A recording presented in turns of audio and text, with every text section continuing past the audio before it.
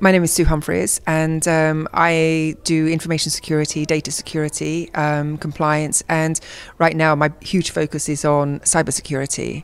And I've been working in the industry for about 15 years.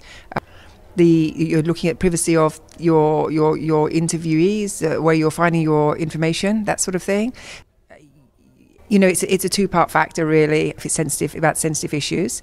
A non disclosure agreement is a key thing. So, between a journalist and whoever you're interviewing, depending on the sensitivity of, of, of the information and privacy of the data that you are you're taking you would really need about storage for example you'd need to look at if you're going to store in the cloud and this is the big buzzword it's in the cloud my question is where's the cloud based people look at me blankly and say it's the cloud.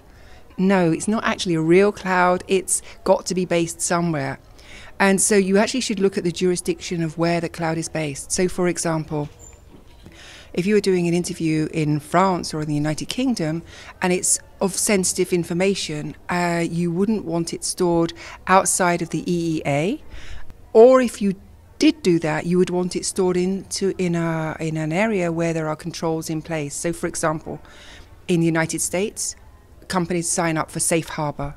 So, therefore, there, there, are a number of key controls which the United States government put in place.